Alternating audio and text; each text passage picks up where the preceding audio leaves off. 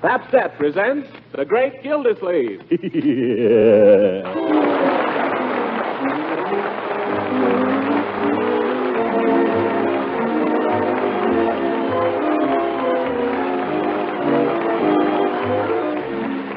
The makers of Pabst-ett present each week at this time Harold Peary as The Great Gildersleeve, written by John Whedon.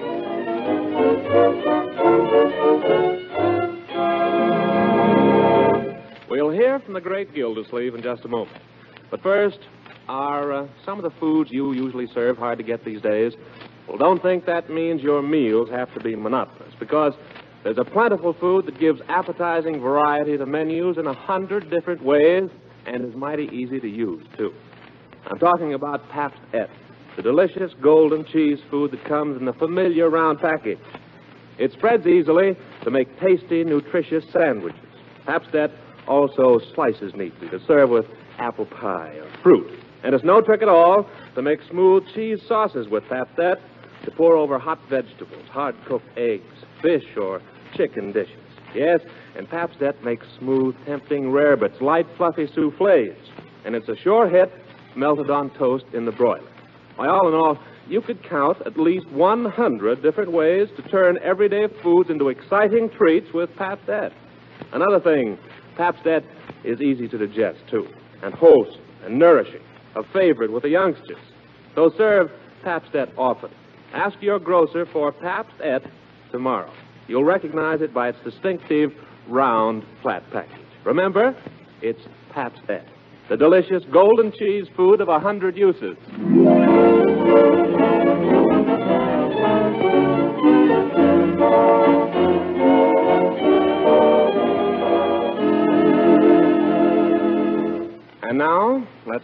Our friend, the great Gildersleeve, who seems to have been overdoing a bit lately. His legal counsel, Judge Hooker, has persuaded him to drop in on Doc Pettibone for a checkup. And while the judge stands by, the good doctor goes over the great man with a stethoscope.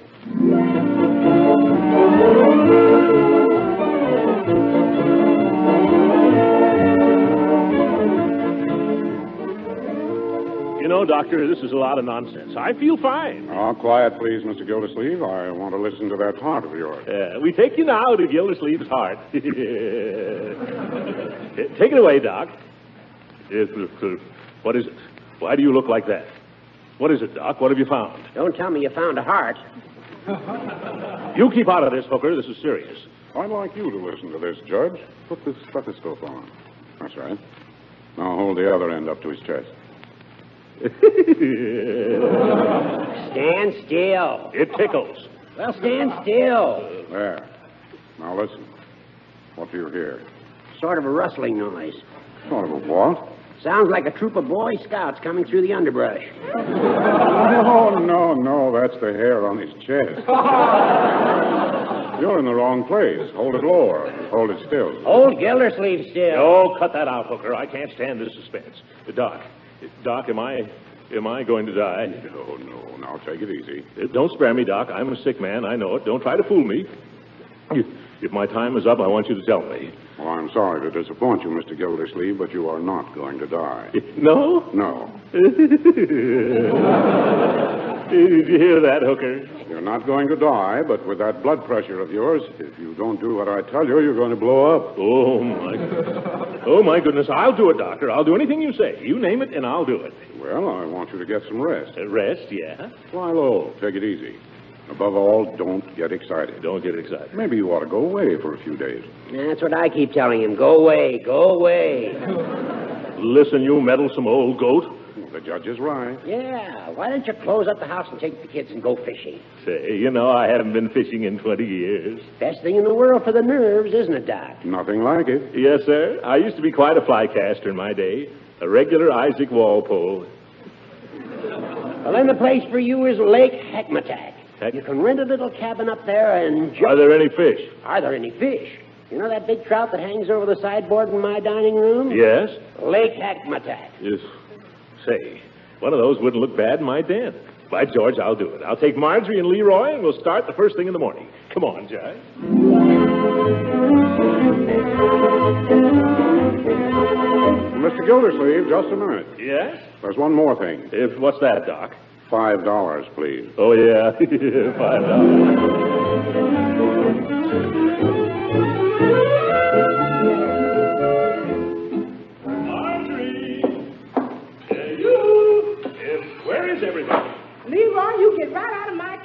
Gone and messed up every pop and bottle I got. Look at that floor. Eh, good evening, Birdie. Evening, Mr. Gilsleeve. My, something smells mighty good. It smells all right, but it ain't good. Leroy, what's going on here? What on earth are you doing with all those bottles? Just making a little root beer. A little root beer. He's made 14 gallons. Well, that's how much it makes. You can see for yourself, Unc. It says here on the bottle. This extract is sufficient to make 14 gallons of genuine root beer. Don't you think you're getting into this thing a little deep, Leroy? Fourteen gallons. That's an awful lot of burps. Yeah, and he's used up. He's used up every bottle and cork I got, and the wash tub still half full. Wash tub. Oh, you don't understand, Uncle Mort. I'm not going to drink it. I'm going to sell it. Leroy, did you ever hear of the Pure Food and Drug Act? No. Well, you will. And you're going to hear the Riot Act if you don't get that stuff out of Birdie's kitchen. Where's Marjorie, Birdie?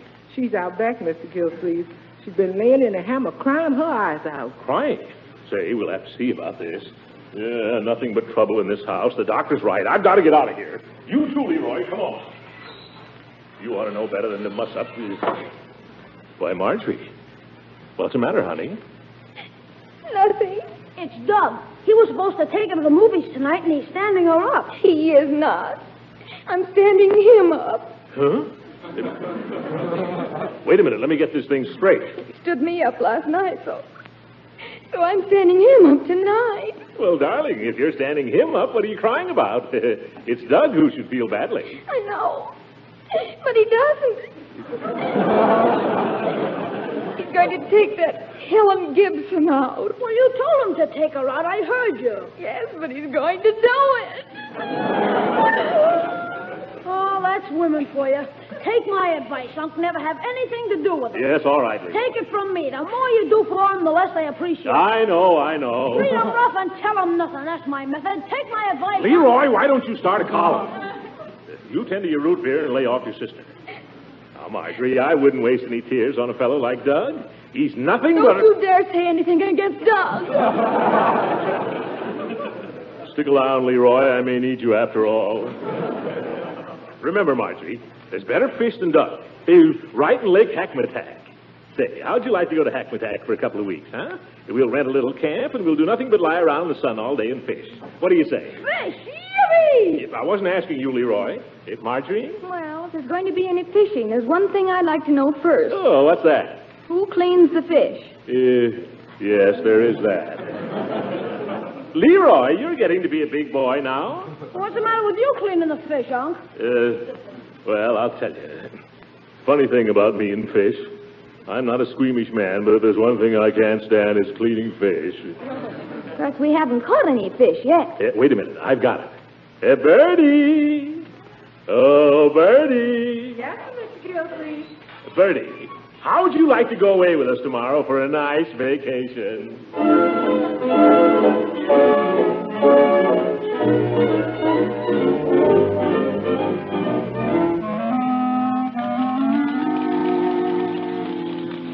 Well, let's get going here. Let's get going. It's 10.30, and we were going to start at 8 o'clock. Come on, come on, come on. Oh, we're coming, Uncle Mort. Well, then what's holding us up? We're just packing the lunch. For goodness sake, we just finished breakfast. Now, you'd be the first to holler, Mr. Gilsleeve, if there wasn't any lunch. We'll be done soon as we finish these deviled eggs. Yeah, I don't know why it is every time we go anyplace, all the women in the house have to start deviling eggs. Have you got the thermos bottle? Yes. Have you got the steamer rug? Yes, yes. Oh, Uncle Mort, why don't you just leave the packing to us? We can do it much quicker if you'll just let us alone. Well, I'm just trying to help, for heaven's sake. Of course, if I'm not wanted here, far be it Why don't me. you go get the car out? A man tries to offer his services around here, and he gets his head taken off. Come on, Leroy. Hey, Unc, can I back the car out? No, you may not. Why not, Uncle Mort? Piggy Banks backed his car out. I can do it honest. You heard me. I said no. Well, why not? I've told you before, young man, you're too young. You're much too young to understand about cars. Oh. Now get off of the running board. I'm going to start it up.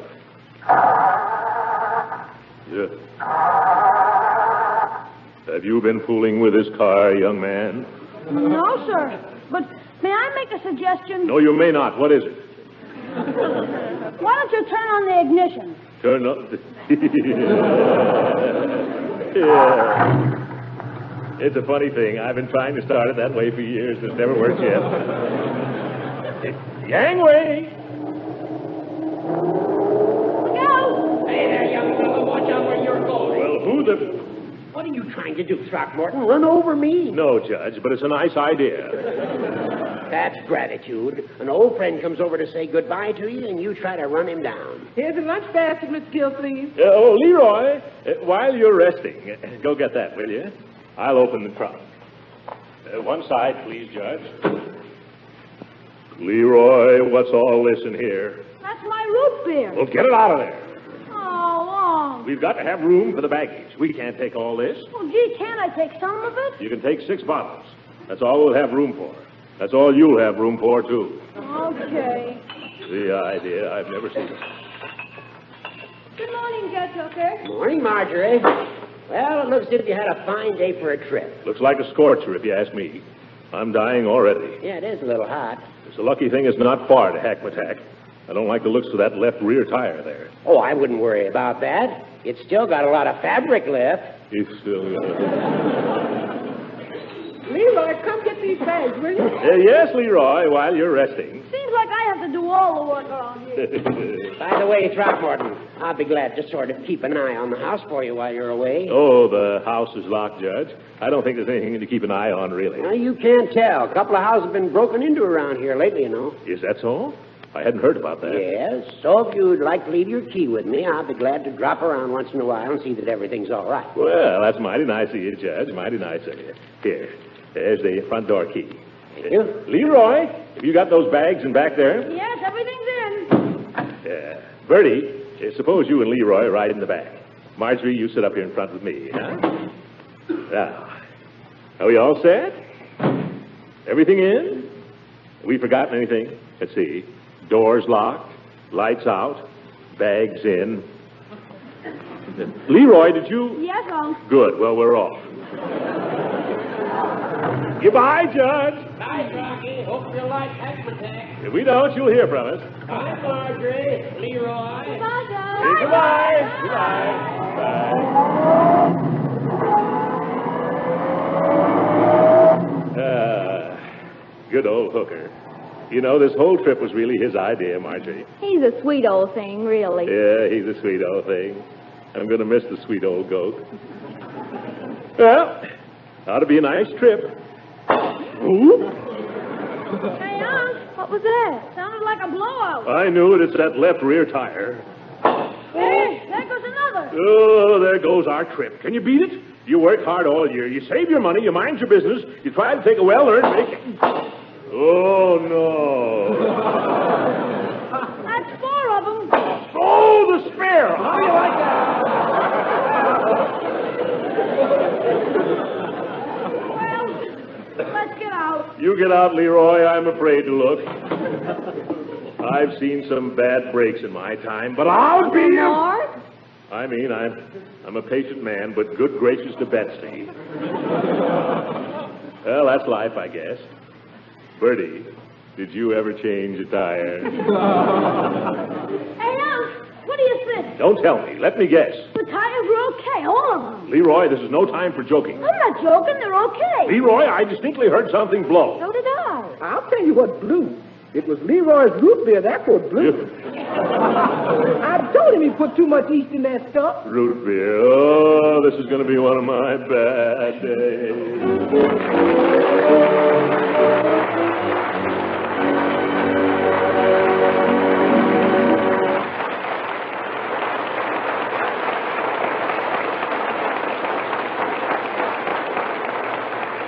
The great Gildersleeve will be with us again in a few seconds. Everybody knows that fresh vegetables are good for you. But do you know the trick that makes practically any vegetable dish a real taste treat? Well, the answer is serve hot vegetables with smooth cheese sauce poured over them. You'll make them even better tasting, even more nutritious, too. It's easy if you use Pabst-Et, the delicious golden cheese food that comes in a handy round flat package. All you do is melt Pabst-Et in a double boiler, stir in a little milk and season. Presto, you have a grand, smooth cheese sauce not only for vegetables, but for fish and chicken dishes, macaroni, rarebits, any number of foods. You'll be surprised how a luscious golden cheese sauce, the kind Pabst Et makes so easily, adds sparkle to everyday dishes, gives them appetizing variety that just calls for second helpings. Yes, and Pabst Et spreads so smoothly, slices so neatly, you'll find a hundred delightful ways to serve Pabst both by itself and to add cheese goodness to other foods. It pays to serve Pabst often because it's so nourishing. A fine energy food, rich in milk protein, and it gives you vitamins A as well as the milk minerals calcium and phosphorus. So ask your grocer for Pabst tomorrow. Remember, Pabst the delicious golden cheese food of a hundred uses.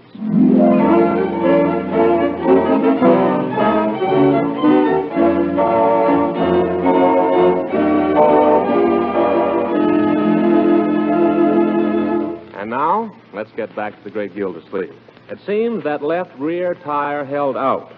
For as the morning mist rolled across Lake Hackmatack, we find the mighty angler seated in the stern of a little rowboat with his niece in the bow and his nephew at the oars. Uh, steady, Leroy. Steady as she goes. Leroy, that went right in my lap. I can't help it. It's these darn oars. Uh, it's about far enough, I think, Leroy. Yeah, let her coast. That's it. Now hand me that rod. Rod, Marge. Oh, here, Unc, you want a worm? Forget the worms. A true sportsman, Leroy, would rather die than use a worm. Well, then how do you catch the fish? Ah, you'll see. Yeah. Young man, you're about to be initiated into the gentle art of fly casting. You see that little doohickey there that covers the hook? You mean that tassel? It- It's not a tassel, young man. That's the fly. You see, it's very delicate. The finest ones are so delicate, they're made of hummingbird feathers. Do the fairies make 'em, Uncle Mort? Oh, shut up. There's a lot of angles with this young man, so watch carefully and don't be so smart. I'm watching. Now, this is how your true angler tempts the finny tribe. It's all done with the wrist, see? And the secret is in getting the rhythm. One, you cast it. Two, you jerk it back. You see? One, two, one, two, one, two, one, two, one.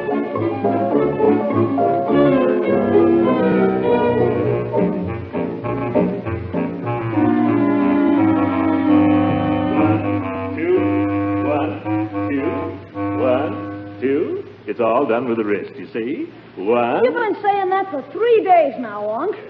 When do you catch the fish? The fish are secondary, young man. The sport is the thing. One, two, one, two, one, two, one. One,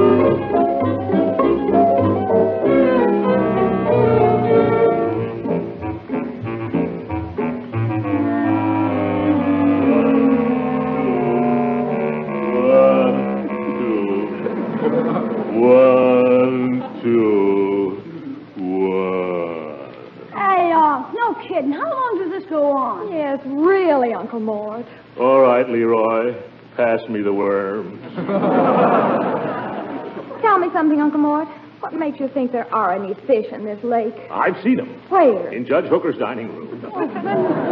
Then what are we doing here? Judge Hooker has a stuffed trout over his sideboard that long. And by George, I'm not leaving here till I catch something. Can you beat it? Five days, not a single bite. Not even from a mosquito. Not one. Remember, Uncle Mort, the sport is the thing. The fish are secondary. Uh, give me those worms. I've tried dry flies, wet flies. I've tried casting, trolling. If this doesn't work, so help me, I'll go in after him with a club. Hey, Unc, look, look down there. What? Where? Down in the weeds there. Huh? See him? Ooh, and a fat one, too. Be quiet, everybody. Be very quiet now. Oh, shh. If I can just lower the hook down there without scaring him. Easy. Don't move. What's that, a mosquito? It's an airplane. Well, keep it quiet. Remember now, fish are jittery. Easy now. Nice fishy. Come and bite the little worm. That plane's coming this way, Unc. Go away, plane. He's diving. It's a power dive. Look at that baby come. Oh, the crazy fool. Look out, everybody, duck! Oh, it's Doug. He's waving. Hi, Doug. Hi. Sit down, Marjorie. Hi,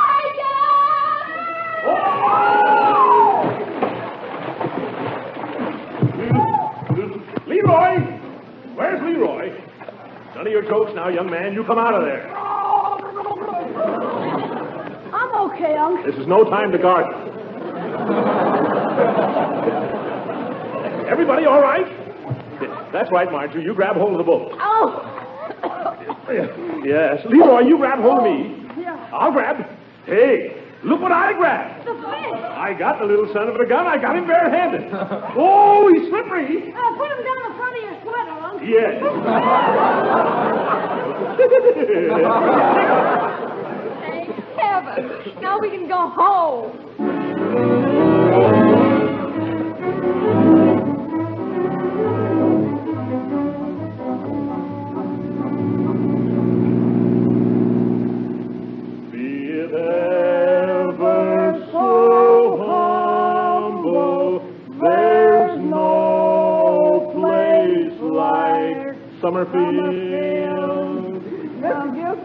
A mouthful. I sure am glad to get away from that lake where has razzmatazz. What is it?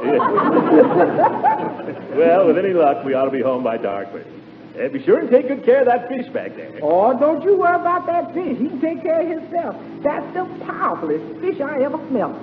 Well, uh, some fish are gamier than others. sort of have to expect that of a trout. That ain't no trout, Mr. Uh, what do you mean? That trout's a flounder. Don't you talk that way about my trout. Well, whatever it is, it's getting higher than a goat. Why, Marjorie, I don't smell anything. Oh, of course you don't with those cigars. If you don't stop smoking those things, this fish is going to be kippered before you get him home. so are we. Uh, No fooling, Mr. Gilsleeve. Don't you think we ought to stop somewhere and give him a decent burial?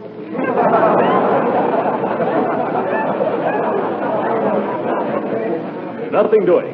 That fish is all I got to show for a misspent week. If he bothers you, you can hang him out the window or something. Hey, that's an idea. Hang him on the fishing rod and stick him out back. Here, I'll do it. Now, don't let him get away. What are you expecting to do? Thumb his way back to Lake Hackmatack? There, that'll air him out a little. Well, what's that guy honking about? All right, brother, come on if you're going to pass. Well, come on. Hey, What do you want? you got a fish. I know you got a fish, you big dodo. Think the man had never seen a fish before. Mr. Gilsleeve, Uh, What is it, Birdie? I ain't sure, Mr. Gilsleeve, but it looks like there's some seagulls following us. Oh, fine. Yep, that's what it is. They're after your fish, Unc. They're after Junior. Step on it, Mr. Gilsleeve. Yeah, pull in your line, Leroy. Pull in your line. Play him, boy. Play him. I have more trouble with birds. Oh! Go away, birds. Go away.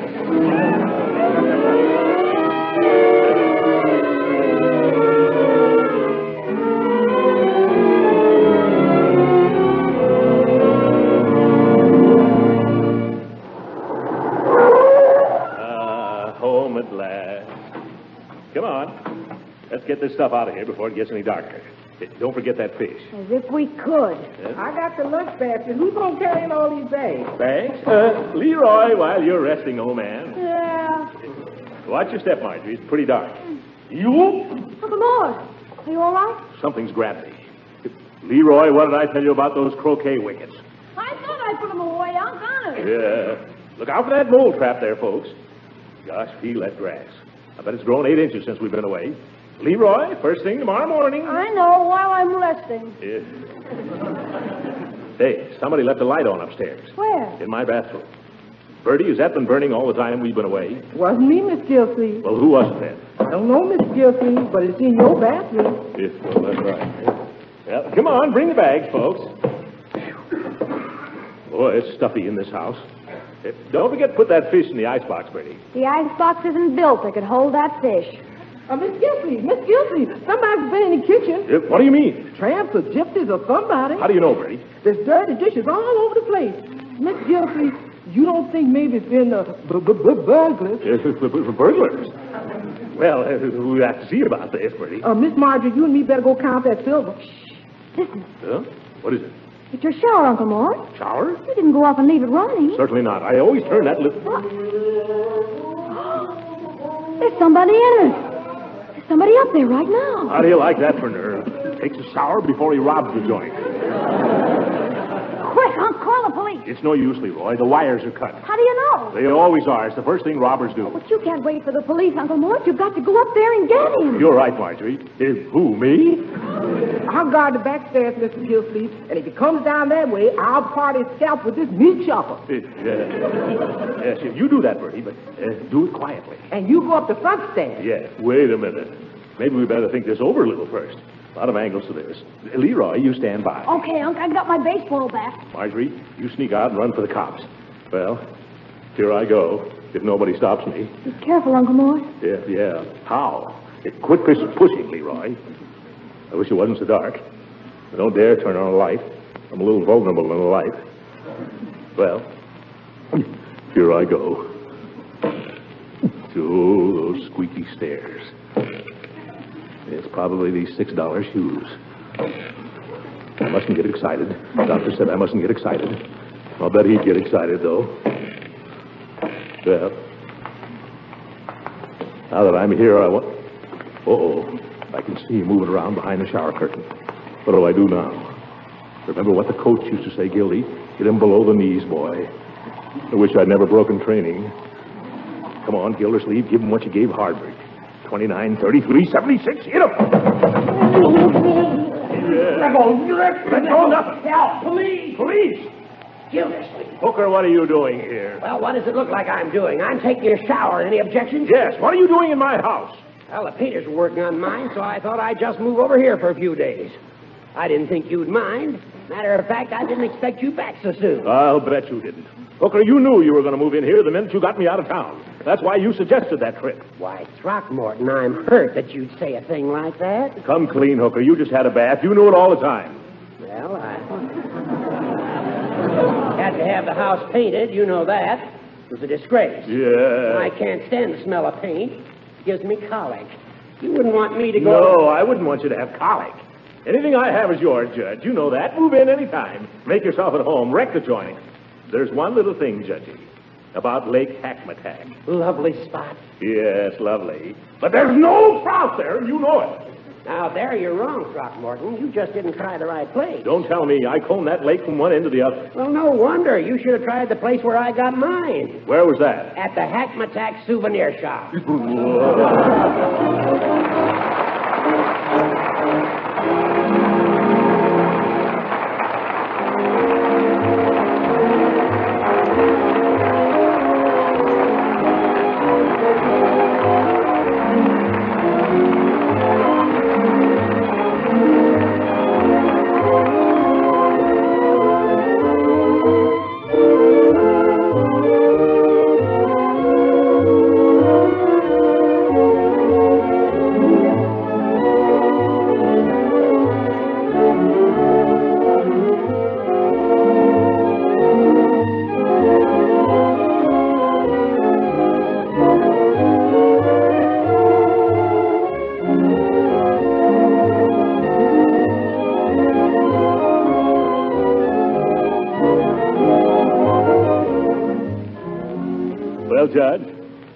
bygones be bygones, huh? Let's be friends. You mean that, Throckmorton? You mean you forgive me? Certainly, I mean it. There's my hand on it. Gildy, my friend, I take back everything I've ever said about you. Uh, seems to me this calls for a little drink, huh, Judge? Birdie, uh, bring the judge a bottle of that special root beer. You may think you've tasted root beer, Judge, but you're going to get an awful bang out of this. Good night.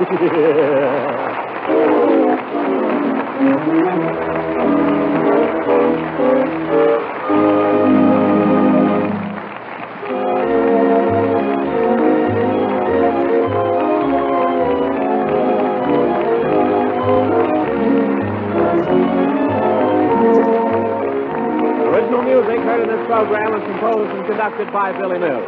This is Ben Alexander speaking for the makers of Pabst-ett and inviting you to tune in again next week at the same time for the further adventures of the great Gildersleeve.